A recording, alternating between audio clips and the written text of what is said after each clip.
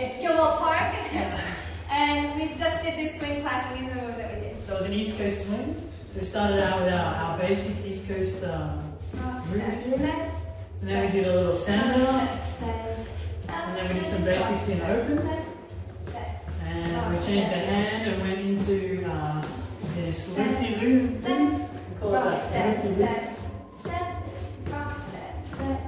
Uh, we also did this close up as well step,